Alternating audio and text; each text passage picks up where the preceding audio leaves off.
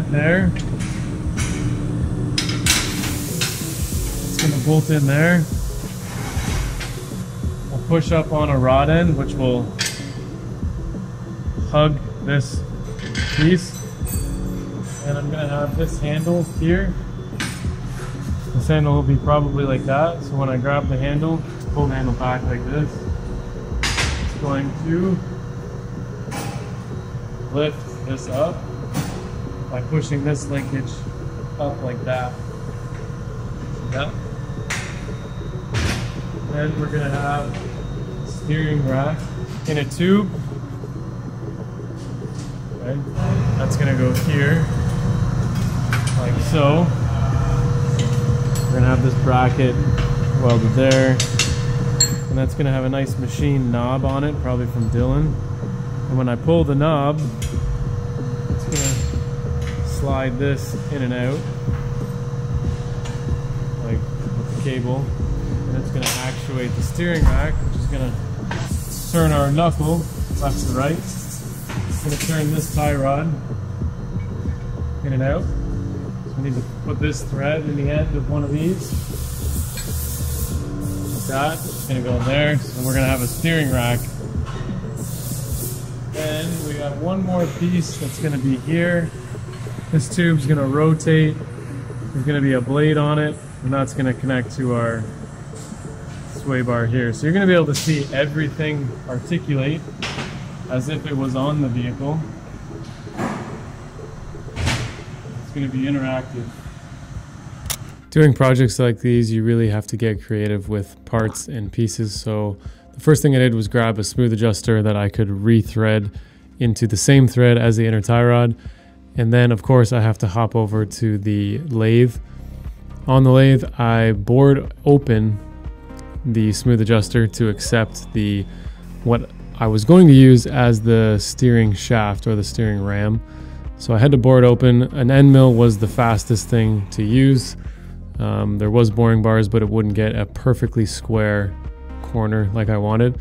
So once I finish this, you can see how nicely it fits on the tube. So we're gonna TIG weld this up and that's gonna thread onto the inner tie rod.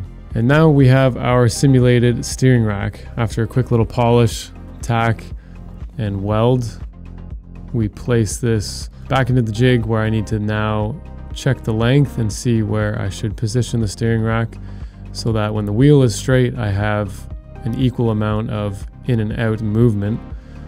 See where the cable lands.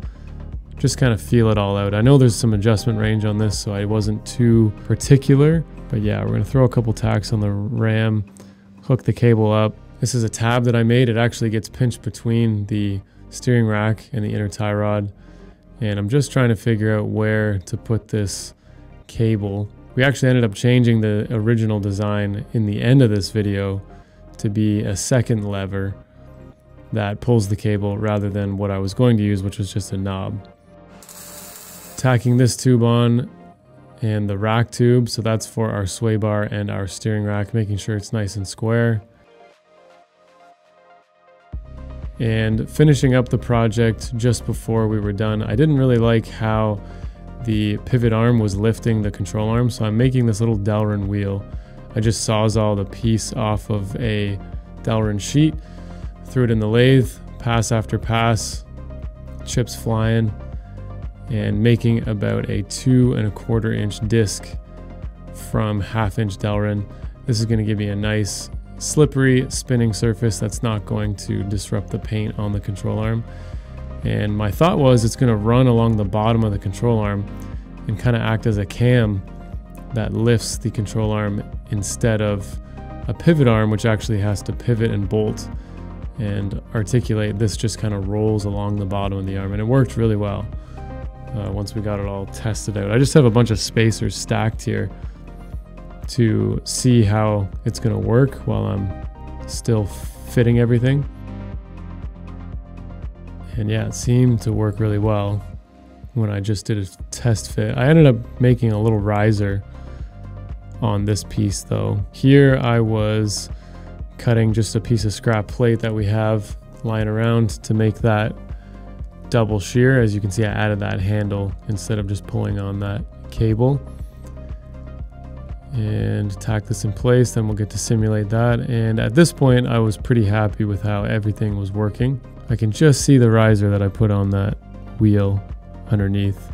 And then we're making a sway bar plate um, out of a, this was actually a sway bar mount for a 370Z kit that I robbed from a bin. And here we're off to powder coating. So that's the end of my voiceover.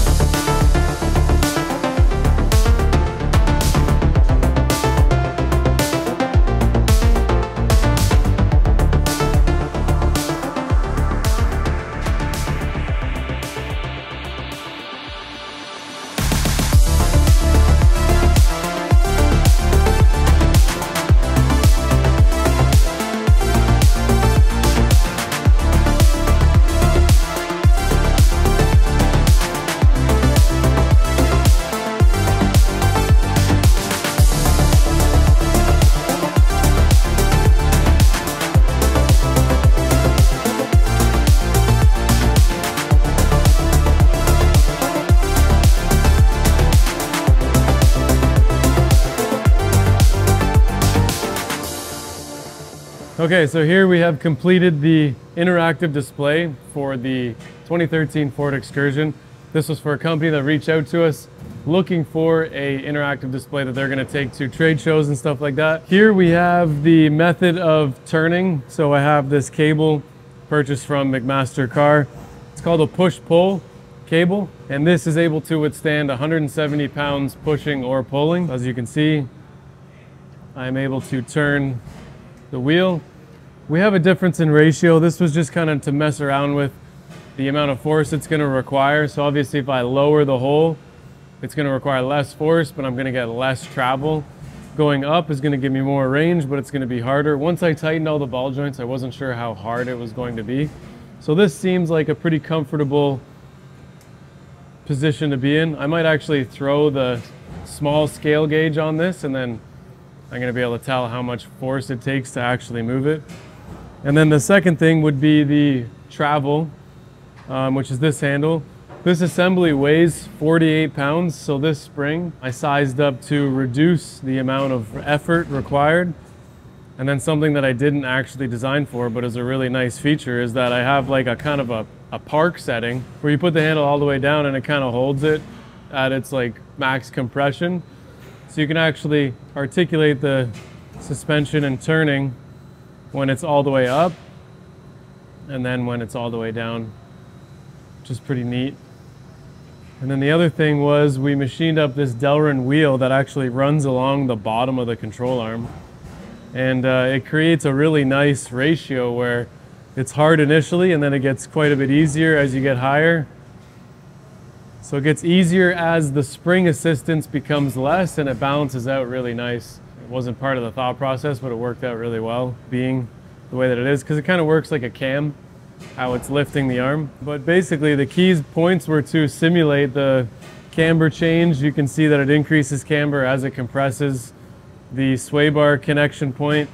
Obviously this is not a replication of the exact sway bar setup on a Ford, but given the display constraints, this was kind of just like how your sway bar linkage is articulating. Otherwise, it's very user friendly. If you walk up to this, obviously you're gonna see two handles and you're probably gonna just pull on them. As you're lifting it, you can kind of cycle them all at different heights.